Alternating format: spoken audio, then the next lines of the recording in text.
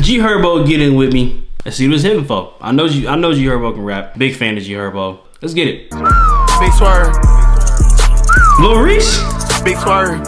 Word. Uh, I was bad as fuck in school, always in and out detention. I just spent a million plus, and I ducked a fair sentence. Been getting money since 16, my first engine had to hit me. Got your whole sucking dick in traffic, all you had to do was get in with me. I'm rocking Rick Owens, this ain't no Versace. Not at all. Finessing words, big swerve, Liberace.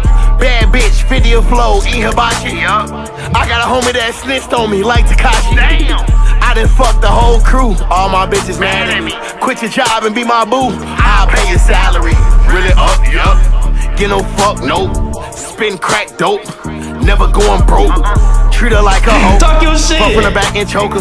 Riding the coupe like Batman, but I feel like Joker. Mm. Roll through 78 on my face, cause I was always in the trenches. Fuck some shoes, you buy a Glock 40 with a switch for 12. Whenever I need aid assistance, all I gotta do is call up 60. 2010, you want a body? All you gotta do is get in with me. 2010, you want a body? All you gotta do is get in with me. Glocks and mask, this bitch a hottie. All you gotta do is get in with me. Turned up, yeah. freestyled this bitch too. fuck, yep. yep. Half a milli, yep. Rose truck, yep.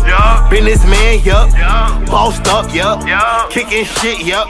World Cup, yep. I was mm. bad as fuck in school, always in and out detention. I just spent a million plus, and I ducked a fair sentence. Been getting money since 16, my first engine had a hit me. Got your whole sucking dick in traffic, all you had to do was get in with me. Mm. And that was definitely a freestyle. I applaud him for that. I applaud him for that. I applaud him for that.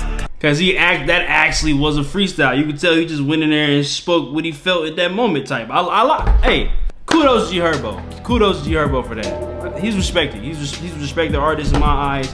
He's a respected rapper.